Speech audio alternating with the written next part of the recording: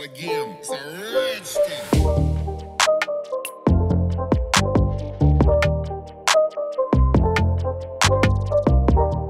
Hey guys, today we're going to be looking at the 40 watt C4 Cube lights from Stedi. These lights are available with three different types of lenses for spot, flood or diffused. Unfortunately these lenses aren't changeable but depending on which one you choose it should suit most of your needs easily. Here I have the flood version and I think it has a wide enough spread while still having enough spot to see into the distance. For me these lights are mounted either side of my light bar on my roof and are pointed off to the sides of the road. They're useful when driving on long open roads and being able to see off to the sides for animals. Here you can see them being used with the ST3K 21.5 inch light bar. These lights come with a black, blue and yellow cover in the box if you want to change the colour of the light.